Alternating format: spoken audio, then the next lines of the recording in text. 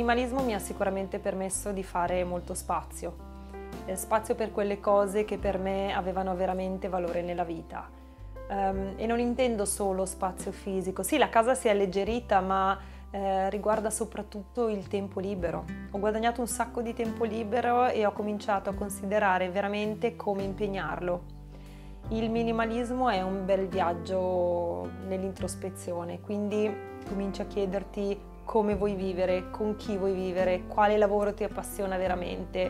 E ho cominciato a tagliare quei rami secchi, come li chiamo io, quindi ho cominciato a lasciare andare quelle cose o quelle persone che non mi davano più gioia, che non erano positive, che non erano stimolanti.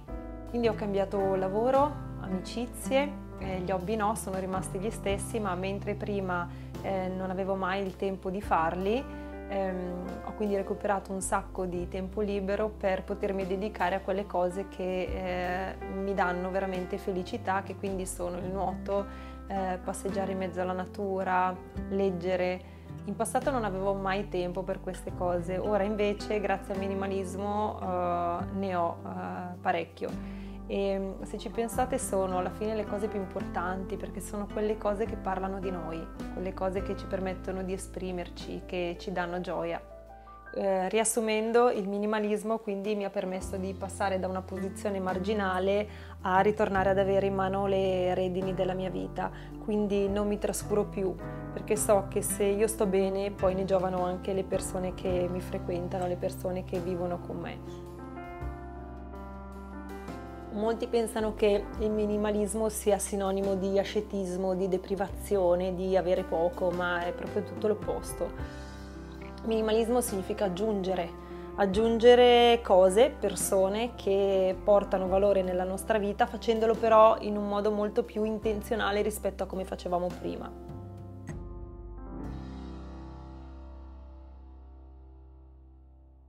Questo purtroppo ho molta esperienza, in gioventù ho riempito il curriculum di esperienze di lavoro, ne ho fatte una marea, ehm, perché mal sopportavo l'ambiente lavorativo in cui mi trovavo al momento, mal sopportavo i colleghi, il capo ed ero sempre convinta che la prossima esperienza, il prossimo lavoro sarebbe stato migliore del precedente. Mai successo. L'arma con cui affrontare le sfide nella vita per me è stata la consapevolezza eh, come ho detto prima ho smesso di farmi guidare dal pensiero compulsivo, dalla mente ho cercato di prendere in mano le redini della mente. Eh, se ci pensate in una giornata noi produciamo dai 40.000 ai 60.000 pensieri. L'80% di questi pensieri sono negativi, il 90% di questi sono gli stessi pensieri che abbiamo avuto ieri e il 95% della nostra giornata è guidata dall'inconscio. Non sarebbe bello invece essere più consapevoli e quindi essere più presenti e quindi non farci più guidare solo ed esclusivamente dall'inconscio, ma essere noi in modo presente a decidere quello che fare della nostra giornata. Ecco, la meditazione in questo aiuta tantissimo. Quindi ho cominciato ad ascoltarmi e con l'ascolto è arrivata anche molta pace interiore che mi ha permesso di vedere le cose, le situazioni che mi si presentavano sotto una luce diversa ho cominciato ad affrontare dei colleghi che si erano permessi delle prepotenze, ho cominciato a richiedere al capo diversi cambiamenti. Ora, il modo in cui affrontiamo queste sfide è determinante, cioè se io le affronto con un atteggiamento sereno, rilassato, ma sicuro di me, si percepisce. Se io invece arrivo eh, per parlare con il mio collega e sono già pronta ad accusare o pronta a puntare il dito, Quell'atteggiamento contiene dentro di sé un esito certo, il fallimento. Ogni ambiente di lavoro è difficile a sé, è una situazione particolare, ma sicuramente eh, vivere di più il momento presente, essere più consapevoli di quello che stiamo provando in quel momento, meditare, eh, non agire contro quello che ci sta succedendo, ma eh, accettarlo e poi fare qualcosa per cambiarlo. Questi sono gli ingredienti che hanno trasformato la mia vita e il mio ambiente di lavoro. Ci sono state anche situazioni che per me erano intollerabili e quindi lì ho proprio lasciato il lavoro e ne ho trovato un altro. Um, un esempio su tutti è quando sono tornata uh, dal volontariato in Africa, non riuscivo più ad andare a lavorare Io lavoravo in una zona di Milano molto lussuosa, molto benestante, frequentata da persone eh, molto ricche e dover interagire con persone che facevano capricci eh, per motivi futili eh, mi dava proprio un senso di nausea a livello fisico e quindi lì sono stata io a decidere di andarmene. Quindi morale, ogni ambiente, come dicevo prima, è a sé. Eh, ogni lavoro ha i suoi pro e i suoi contro, ma sicuramente il modo in cui noi affrontiamo le cose ha un impatto enorme sul benessere generale nostro, ma anche di chi ci circonda.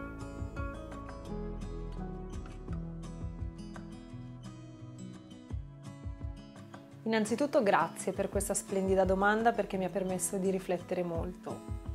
Eh, quello che posso dire è che sicuramente è dura fare pace con il proprio passato, soprattutto se ci sono delle sfide che abbiamo affrontato e abbiamo perso, o se abbiamo amato qualcuno che ci ha lasciato, o se quel qualcuno ci ha deluso, o se non ha creduto in noi, o ancora se siamo stati noi a commettere degli errori, ad aver fatto del male a qualcun altro e poi ad avere dei rimorsi.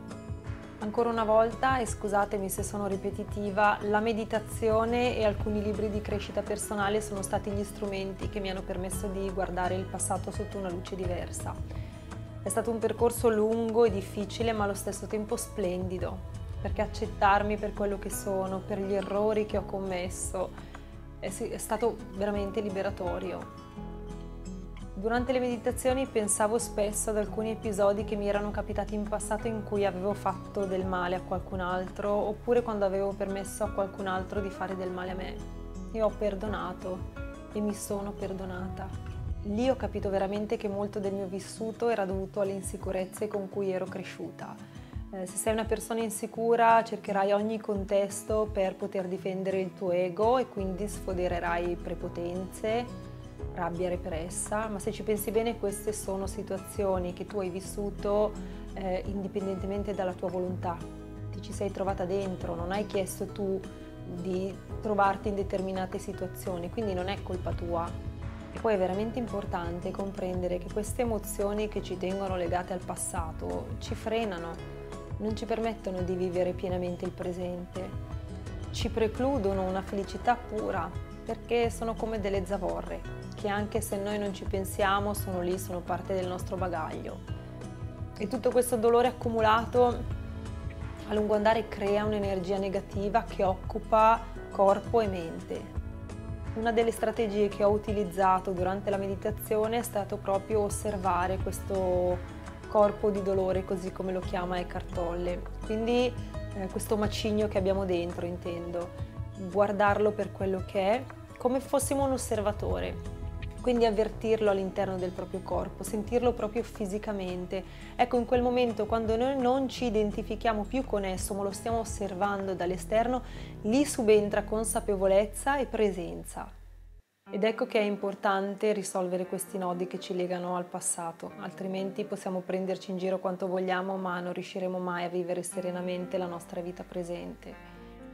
La maggior parte delle volte si tratta sempre di perdonare, perdonare noi stessi, perdonare i nostri genitori, perdonare degli amici. Però una volta che perdoniamo lasciamo andare rabbia e risentimento e da lì eh, questa sensazione di leggerezza che ci permette di stare bene, di vivere veramente al 100% il momento presente.